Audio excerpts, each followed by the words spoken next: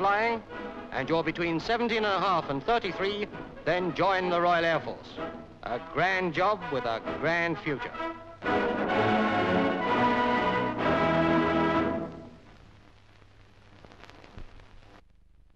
You wouldn't think, to look at him, that three years ago he'd been given up for dead. That was in the desert.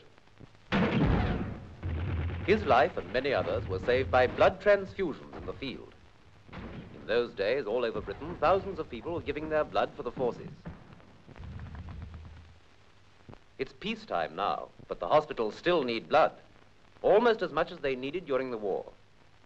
They need it for the battle against disease, to help to win through operations, to fight for the lives of sick babies. This war never stops. We can all help. If you are already a donor, give your blood when called upon. If not, volunteer when there is an appeal in your area. Lifeblood is still urgently needed to save the casualties of peace. It might be you.